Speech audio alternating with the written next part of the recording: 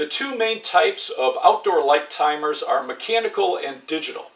This is a mechanical timer. You would spin the dial to set the time and then you would move the green trigger to the time that you want the outlets to turn on. You would move the red trigger to the time you want the outlets to turn off. This timer has six outlets for power and extension cords.